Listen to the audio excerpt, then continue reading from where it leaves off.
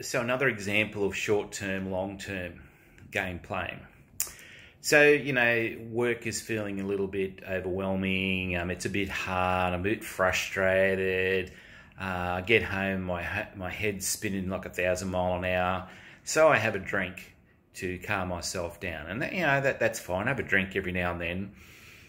Um, and then, uh, then the next thing I know, six months later, I'm actually having a couple of drinks every night of the week. Now, the long term game is well, hang on a tick.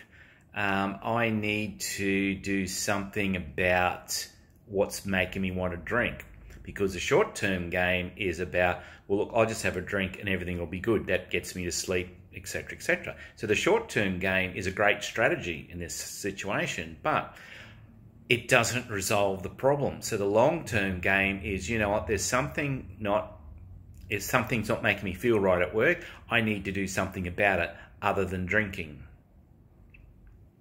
So in this situation, the long term game is going to be harder than the short term game, but ultimately it is less chance of alcohol becoming um, in control of you.